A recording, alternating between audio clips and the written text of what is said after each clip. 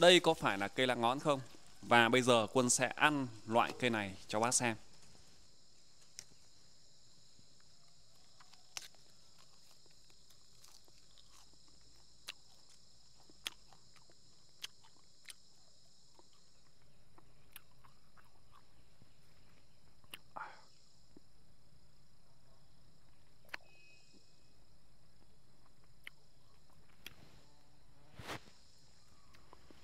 Rất nhiều người nhầm lẫn cây có độc và cây không có độc. Như loại cây này thì rất nhiều bác nhầm lẫn là cây lá ngón. Nhưng thực tế đây là một loại thảo dược có tác dụng chữa bệnh. Và ngược lại, nhiều khi chúng ta lại nhấm những cái lá ở trên rừng mà không biết rằng chúng có độc. Vậy ngày hôm nay con sẽ chia sẻ với các bác một loại cây rất giống cây lá ngón mà nhiều người nhầm lẫn rằng đó là cây lá ngón nhưng không biết chúng lại có tác dụng chữa bệnh rất là hay. Đây chính là cây dạ cẩm, một loại cây khá giống với lá ngón các bác nhé. Bây giờ quân sẽ quay chi tiết cây dạ cẩm để cho các bác nhận diện chính xác loại cây này. Và chúng ta sử dụng loại cây này làm thuốc trị bệnh như thế nào các bác nhé. Đây các bác nhá, cái ngọn của cây dạ cẩm đây ạ. Thường cây dạ cẩm, cái ngọn nó sẽ có màu tím này. Đấy. Và đặc điểm nó giống với cây la ngón bởi vì cây dạ cẩm này cũng có lá mọc đối. Đây ạ. Đấy, lá mọc đối. Và cái hình dáng lá của cây này thì cũng gần giống lá ngón. Nhưng mà có một cái đặc điểm khác.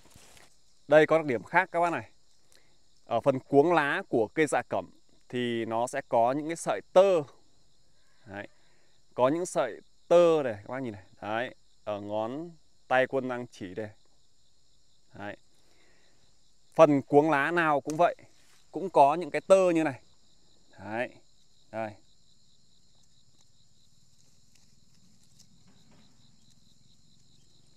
Đấy.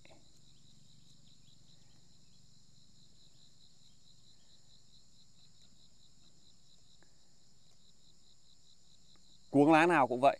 Đấy. mọc đối nhưng mà ở cuống lá thì nó có những cái tơ như này. Đấy, hai bên. Khi gặp cái loại cây này thì các bác có thể yên tâm là chúng ta có thể mang về làm thuốc. Đấy. riêng cây dạ cẩm lúc nào cũng có những cái tơ này. Đặc điểm thứ nhất. Đặc điểm thứ hai của cây dạ cẩm đó là bề mặt lá có lông. Đấy. còn ở cây lá ngón thì lá của nó nhẵn bóng và những cái phần ngọn non của cây dạ cẩm này, các bác nhìn này, cũng có một cái lớp lông nhung màu trắng này. Đấy. Hai đặc điểm này, các bác có thể nhận diện chính xác. Cây lá ngón không có lông, còn cây dạ cẩm phần ngọn và lá có lông. Cây lá ngón thì cuống lá, nó sẽ không có những cái tua như này. Còn cây dạ cẩm thì nó sẽ có những cái tua đây. Khi nhận diện chính xác được cây dạ cẩm, các bác có thể là yên tâm chúng ta mang cây này về làm thuốc. Đấy. Thì cây này dùng để chữa bệnh, sử dụng trong những bệnh như nào? Thưa bác, cây dạ cẩm là một trong những cây sử dụng theo kinh nghiệm của người vùng cao, dùng trong những bài thuốc về đau dạ dày, Đấy. về đường tiêu hóa, đại tràng, táo bón, trĩ nội, trĩ ngoại đặc biệt là viêm loét dạ dày các bác nhé, đặc biệt là dạ dày đường ruột sử dụng cái này rất là tốt bác nào mà đang bị đau âm ỉ này, bị viêm loét này, Đấy. bị trào ngược này, rồi ăn uống khó tiêu này, Đấy. chúng ta sử dụng ngay cái dây dạ cẩm này các bác nhé cách dùng là chúng ta có thể hái cái lá này, hoặc các bác có thể là lấy cái dây có những dây to bằng ngón tay cái hoặc ngón tay trỏ này. Chúng ta lấy cái dây đó mang về, chúng ta thái lát ra.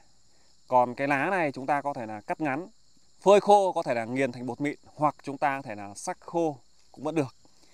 Người ta thường kết hợp cây dạ cẩm này với cây khôi nhung này, cây khổ sâm này, vỏ núc nác này. Đấy. nghệ đen, nghệ vàng này. Đấy. nghiền thành bột mịn để pha với nước nóng uống trong ngày. Đấy, rất tốt cho trường hợp mà bị đau dạ dày. Những bệnh lý về đường tiêu hóa khó tiêu ăn uống không ngon. Đấy.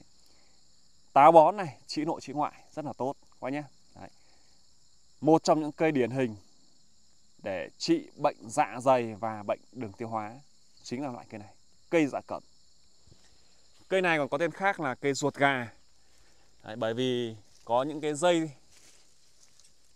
nó già đi và nhìn cái hình dáng của nó khá giống với cái ruột gà, nên người ta còn đặt tên cây này là cây ruột gà đây là phần ngọn ở đây các bác này Đấy.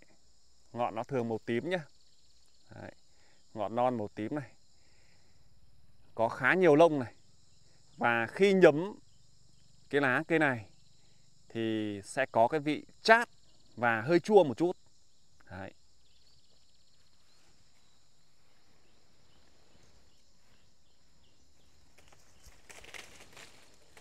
Đây là một cây nữa này. Đấy. Đi rừng mà bắt gặp loại cây này thì xin chúc mừng các bác nhé. Chúng ta không phải lăn tăn gì là sợ nhầm với lá ngón. Bởi những đặc điểm quân vừa chia sẻ với bác là rất dễ nhận biết cái loại cây này. Đấy. Với cái cây lá ngón. Đấy, các bác nhìn thấy cái cành quân ngắt này.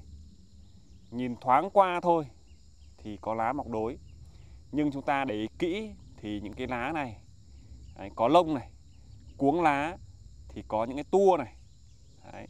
và lá ngọn của cây dạ cẩm này thì nó hơi ngả sang màu tím chỉ cần những đặc điểm này thôi các bác yên tâm sử dụng cái loại cây này làm thuốc đấy.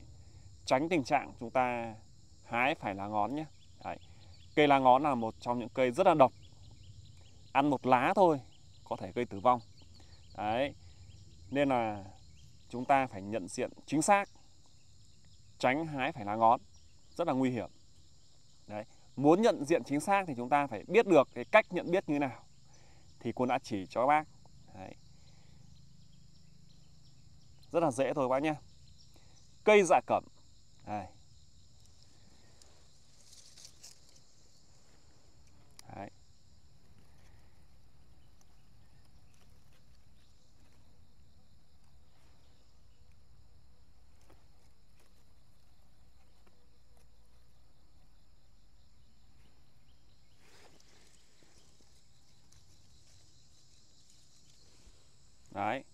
lá mọc đối này. Lá ngón cũng vậy, lá mọc đối.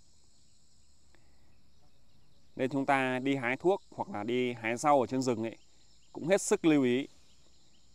Có nhiều cây giống với lá ngón. Đấy, nên chúng ta hãy cẩn thận. Biết chắc được đây là cây dạ cẩm hoặc là cái cây không phải là ngón thì chúng ta hãng hái nhé. Còn chúng ta không biết cách nhận biết ấy, thì tốt nhất chúng ta không nên sử dụng và không nên hái để tránh gặp phải những tình trạng không may xảy ra. Có nhá. Một video ngắn chia sẻ với các bác đặc điểm tự nhiên của cây dạ cẩm và những cái phương thuốc để hỗ trợ trong trường hợp bị đau dạ dày này. Những bệnh về đường tiêu hóa đại tràng trĩ nội trĩ ngoại táo bón đi cầu ra máu. Đấy, và cách nhận biết cái cây dạ cẩm khác so với cây lá ngón như nào các bác xem thấy hữu ích thì hãy like và chia sẻ video này cho mọi người cùng biết các bác nhé. Còn bây giờ xin mến chào và hẹn gặp lại các bác ở những video tiếp theo trên cây thuốc vùng cao.